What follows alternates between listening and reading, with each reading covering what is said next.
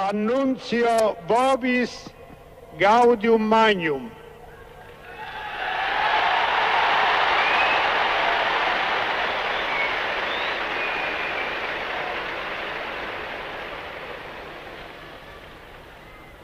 Habemus papam.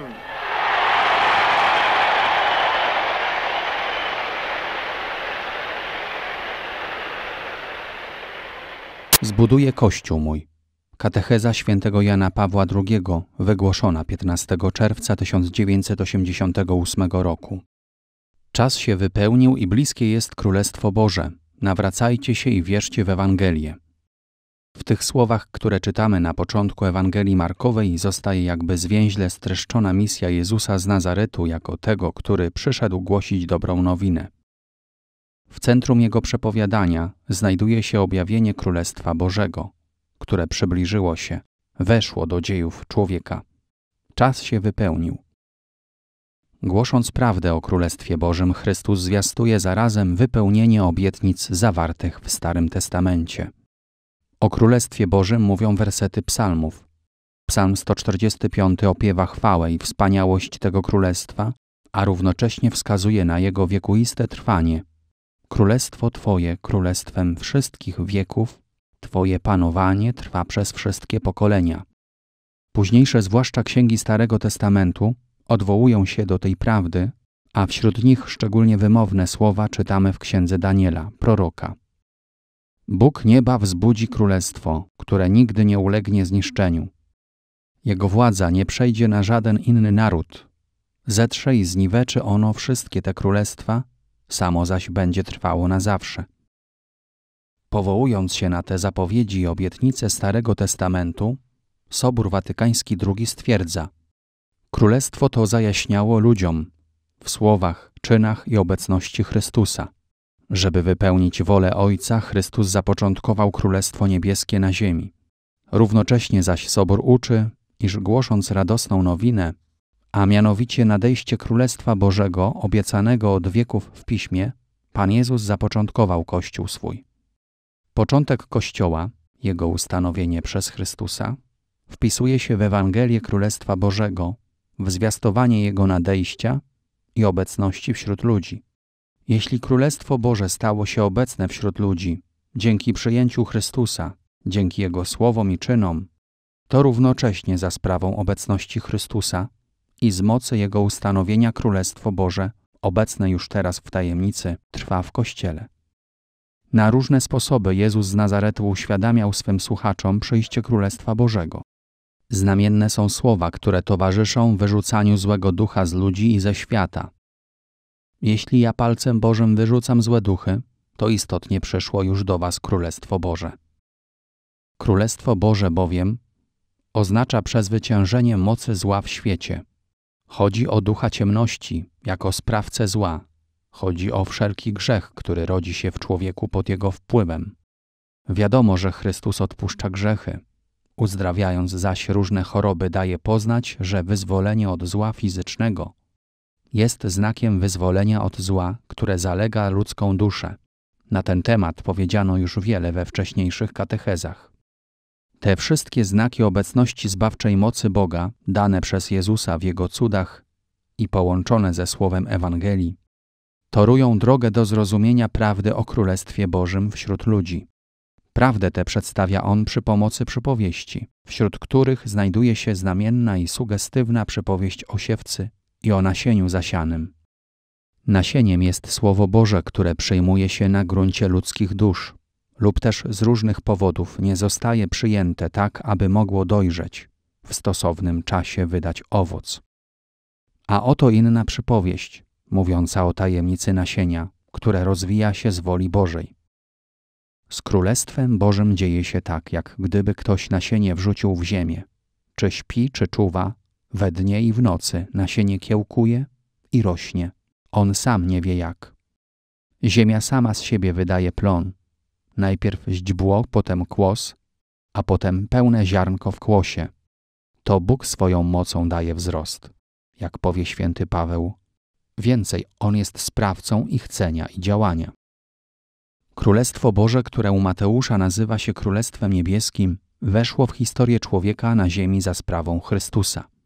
Jest rzeczą znamienną, iż ostatecznie w obliczu swej męki i śmierci na krzyżu Chrystus mówi o sobie jako o królu, a zarazem wyjaśnia charakter tego królestwa, które przyszedł zapoczątkować na ziemi. Rozmowa z Piłatem jest tutaj tekstem kluczowym. Chrystus staje wobec rzymskiego namiestnika pod zarzutem, że chciał się uczynić królem żydowskim.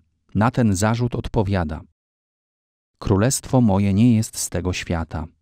Gdyby królestwo moje było z tego świata, słudzy moi biliby się, abym nie został wydany Żydom. Jednakże fakt, iż Chrystus nie jest królem w znaczeniu ziemskim, nie przekreśla innego znaczenia tego królestwa. Na ponowne pytanie sędziego, a więc jesteś królem, Jezus odpowiada: Tak, jestem królem. Ja się na to narodziłem i na to przyszedłem na świat, aby dać świadectwo prawdzie. Każdy, kto jest z prawdy, słucha mojego głosu.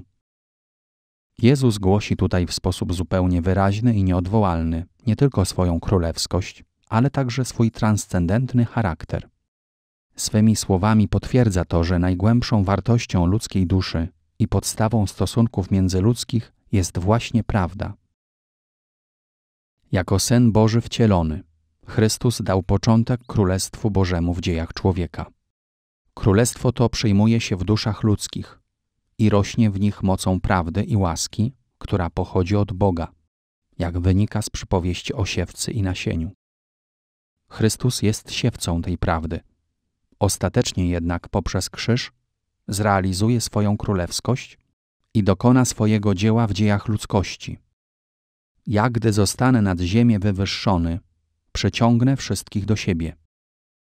Łączy się to bardzo ściśle z nauką o dobrym pasterzu, który daje życie swoje za owce.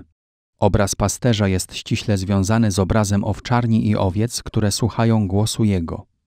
Chrystus nazywa siebie dobrym pasterzem, który zna swoje i swoje go znają. Jako dobry pasterz szuka każdej owcy zbłąkanej, a równocześnie wie o innych owcach, które nie są z tej owczarni, które również musi przyprowadzić, które będą słuchać głosu Jego i stanie się jedna owczarnia i jeden pasterz. Chodzi tu zatem o powszechną królewskość. Chrystus sprawuje ją jako pasterz, aby doprowadzić wszystkich ludzi do życia w prawdzie Bożej.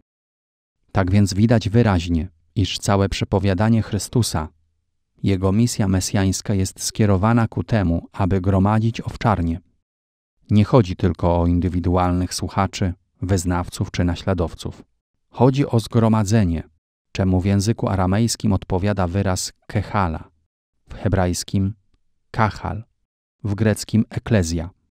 Odpowiednik grecki pochodzi od czasownika wzywać, który po grecku brzmi klesis.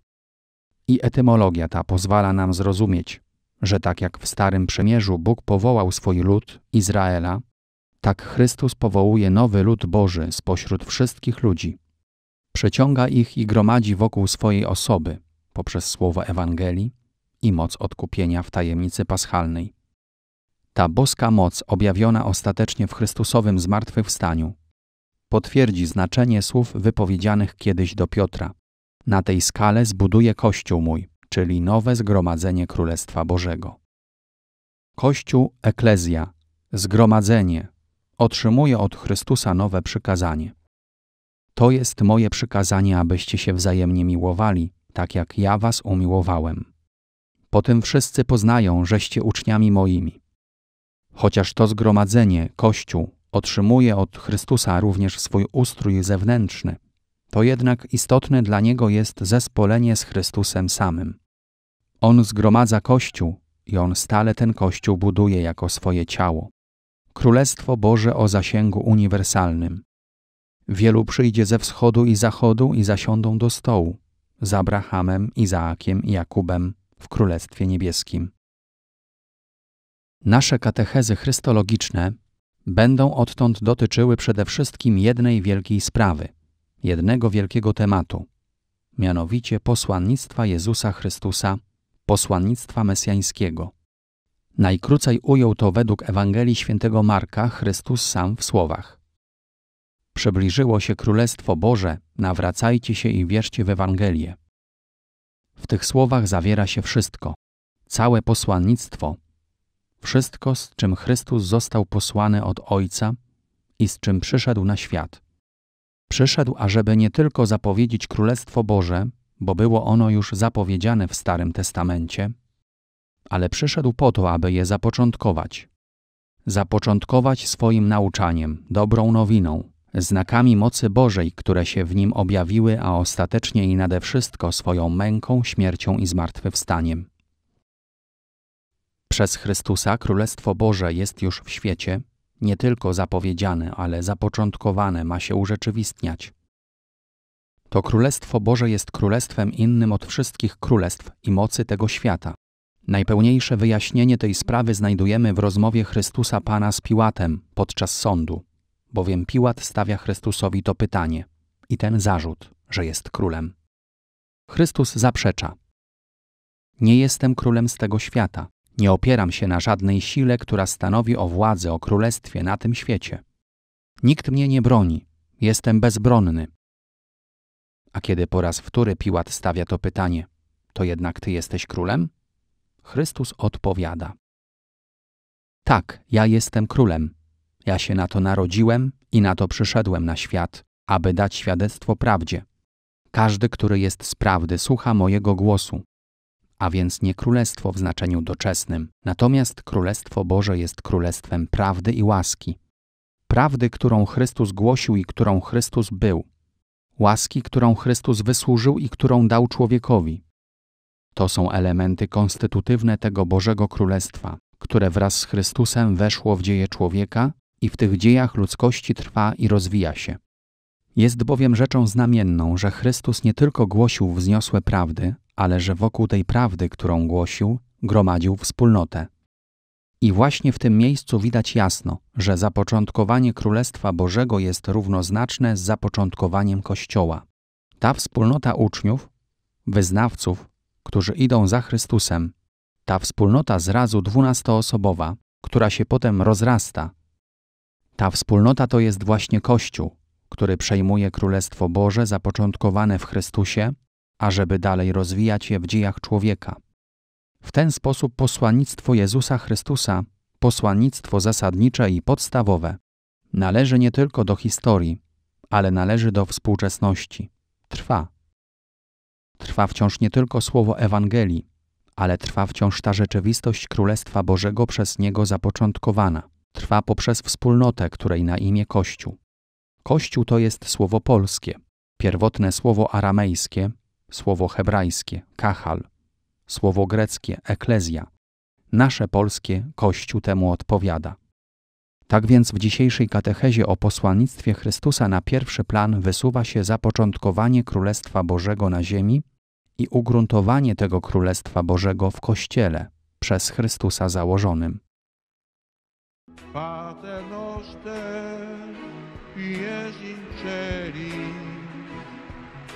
vicetur noven tuum, adveniat regnum tuum, fiat voluntas tua, sicur in cielo ed in terra. Pane nostrum quotidianum da nobis hodie, et dimitte nobis levita nostra, circuda nostri vittimus, debitoribus nostri, et ne nos induca in tentatione, sed libera nos a